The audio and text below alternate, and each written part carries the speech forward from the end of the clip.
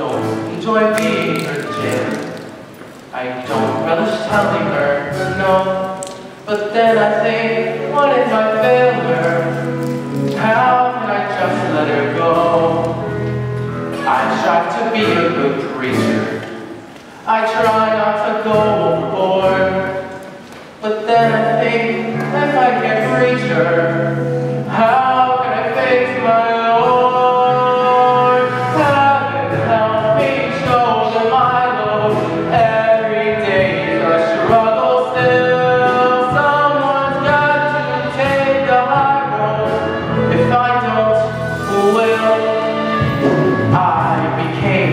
a man of God to do his work